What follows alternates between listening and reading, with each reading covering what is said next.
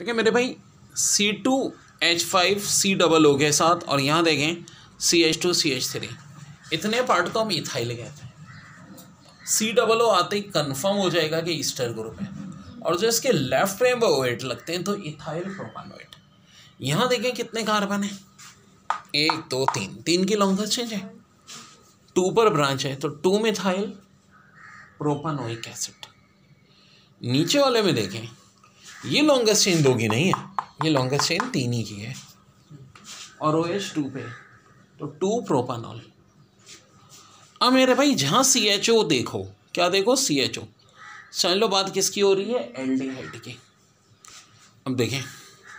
ये C H three C H two C H two C H three ये C H O C C H two C H three ये कितने carbon है चार। यहाँ पे ब्रांच यहाँ पे branch two ethyl butanal.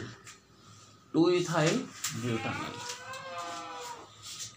अब यहाँ देंगे सी एच थ्री ओ और सी टू एच फाइव तो जब एक वो दरमियान में हो दो कार्बन के तो ईथर ग्रुप इसका वैसे common name methyl ethyl ether होता है।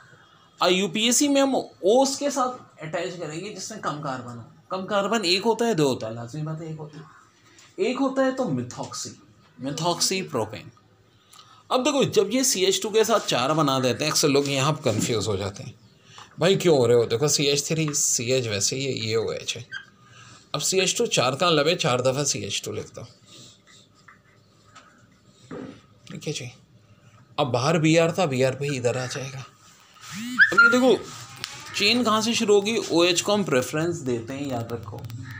हेलोजन पर ओ एच को देते हैं अल्कोहल को। ये ओ एच है। और ये सी एच तो कार्बन गिनो तो दूसरे वाले कार्बन। फिर ये तीसरा, चौथा, पांचवा, छठा।